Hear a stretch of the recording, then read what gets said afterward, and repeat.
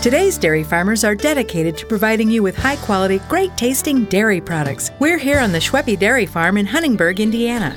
I have spent my entire life on a dairy farm. I'm Sam Schwoeppe, a partner in Schwoeppe Dairy, along with my family. We live and work on the farm, so it's important to us to protect the land, water, and air for our surrounding communities. Good environmental practices make good business sense, especially since one day my sons, Wyatt and Ethan, Hey. Hi. will take over the family operation. I can't wait. Me neither. There's a lot of responsibility involved in owning a dairy operation. Not only do we select specific crops for our cows' nutrition, our cropland provides habitat for many species of wildlife.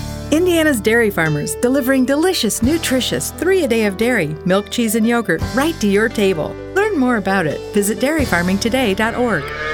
Respect for the environment is second nature to us, Our farming practices are responsible, committed, and sustainable. and we deliver. Every single day.